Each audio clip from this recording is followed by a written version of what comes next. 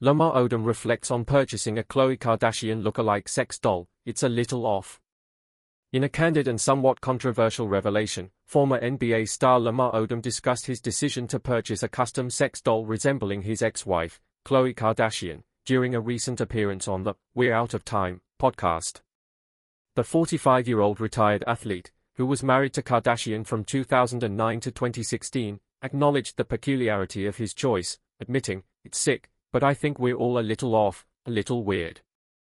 Odom shared that the doll is currently in production and will be designed to look like Kardashian, stating, they're gonna make it to look like her. I need, like, harem. His comments have sparked a wave of reactions, as fans and critics alike grapple with the implications of such an intimate decision. The conversation took a deeper turn when host Richard Tate questioned the significance of the doll in Odom's life, particularly regarding its impact on his mental health. A sex doll that looks like your wife is about mental health. Tate inquired, to which Odom replied, For me, it would be. This statement raises questions about the role of such objects in coping with past relationships and emotional struggles, reflecting a complex intersection of intimacy, nostalgia, and mental well-being. While discussing his current relationship with Kardashian, Odom revealed that they do not communicate regularly, citing life as the reason for their distance. However, he expressed a sense of mutual care, stating, I don't speak to her, but she cares about me. He added that he could reach out via text, and she would respond, suggesting a lingering connection despite their separation. The discussion of Odom's doll purchase comes shortly after his manager, Gina Rodriguez, confirmed to TMZ that he visited the Real Doll sex toy facility in Las Vegas to place the order.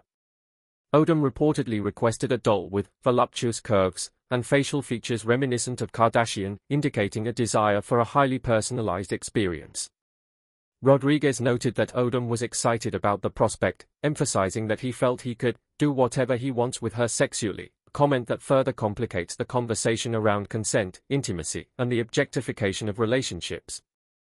Kardashian and Odom's tumultuous history is well documented, marked by both passionate moments and significant challenges. The couple met in 2009 and married just one month later, but their relationship faced severe strains due to Odom's struggles with addiction and infidelity. Kardashian filed for divorce in 2013, a process that was further complicated by Odom's near-fatal drug overdose in 2015. Since their split, Kardashian has navigated her own romantic life, most notably her relationship with NBA player Tristan Thompson, which ended in 2021 amid allegations of infidelity. Odom's recent comments and actions have reignited discussions about the complexities of past relationships and the ways in which individuals cope with loss and nostalgia. The purchase of a look-alike doll can be seen as an attempt to hold onto a piece of the past or perhaps a misguided effort to reclaim a sense of intimacy that has been lost. As the conversation around Odom's choice continues, it raises broader questions about the nature of relationships in the public eye, the impact of celebrity culture on personal lives, and the ways that individuals find solace or connection in unconventional ways. While Odom's journey has been fraught with difficulty, his reflections on this latest chapter highlight the ongoing struggle for healing and understanding in the aftermath of love and loss. As fans and followers watch this story unfold, the intersection of fame, love, and personal struggle remains a captivating narrative, reminding us all of the complexities inherent in human relationships.